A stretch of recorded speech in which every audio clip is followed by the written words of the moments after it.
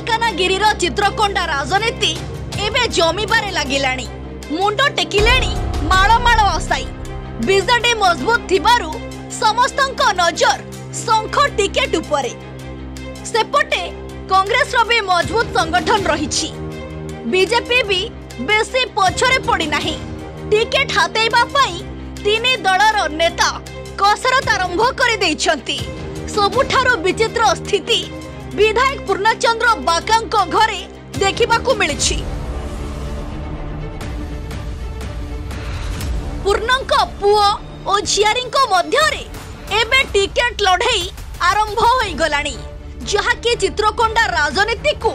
ରୋଚକ କରିଦେଇଛି ରାଜ୍ୟର ଶେଷ ନିର୍ବାଚନ ମଣ୍ଡଳୀ ହେଉଛି Chitrakonda Mathili block Kudumulugumma block Balimela NAC খৈরাকোট block ও কোরকুন্ডা ব্লকর পনের গ্রাম পঞ্চায়েতকু নেই চিত্রকোণ্ডা নির্বাচন মণ্ডলী গঠিত দুই হাজার উনিশ নির্বাচনরে দাদা পূর্ণচন্দ্র ও ঝিয়ারি লক্ষ্মীপ্রিয়াঙ্ক মধ্যে জোরদার লড়াই হয়েছিল বিজেডিরু লড়ুথিবা পূর্ণচন্দ্র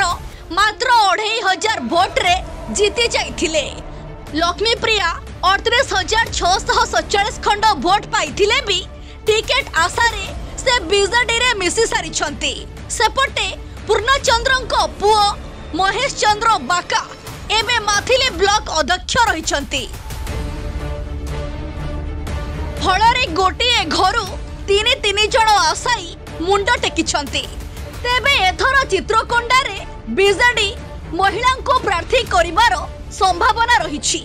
ତେବେ ଲକ୍ଷ୍ମୀପ୍ରିୟାଙ୍କ ରାସ୍ତାରେ କଣ୍ଟା ସାଜିଛନ୍ତି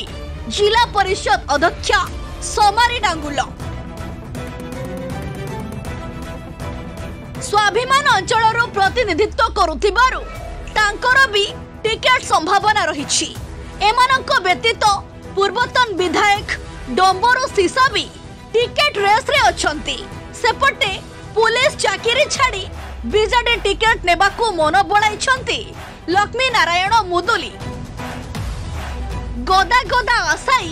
ଏବେ ବିଜେଡିର ମୁଣ୍ଡ ବ୍ୟଥା ବଢ଼ାଇ ଦେଇଛି ବିଜେଡିରେ ଏବେ ଗୋଷ୍ଠୀ କନ୍ଦଳ ଜୋର ଧରିଥିବାରୁ ଫାଇଦା ନେବାକୁ ଯୋଜନା କରିଛି କଂଗ୍ରେସ ଗତ ନିର୍ବାଚନରେ କଂଗ୍ରେସ ତିରିଶ ପ୍ରତିଶତ ଭୋଟ ପାଇଥିଲା ଲକ୍ଷ୍ମୀପ୍ରିୟା ଦଳ ଛାଡ଼ିଥିବାରୁ ପୂର୍ବତନ ଜିଲ୍ଲା ପରିଷଦ ଅଧ୍ୟକ୍ଷ ଗଙ୍ଗାଧର ବୁରୁଦାଙ୍କ ପୁଅ ଶରତ ଚନ୍ଦ୍ର ବୁରୁଦା ଟିକେଟ୍ ରେସ୍ରେ ଅଛନ୍ତି ଦୁଇହଜାର ଚଉଦରେ ସେ ବିଜେପି ଟିକେଟରେ ଲଢ଼ି ଭଲ ଭୋଟ ପାଇଥିଲେ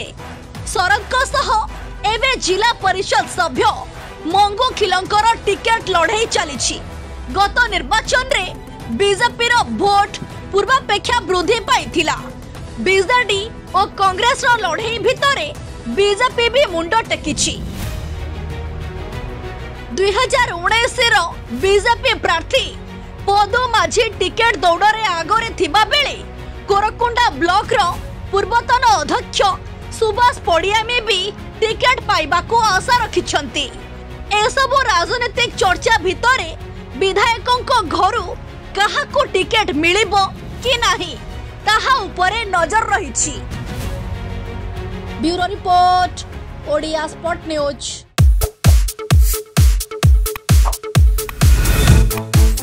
Thank you.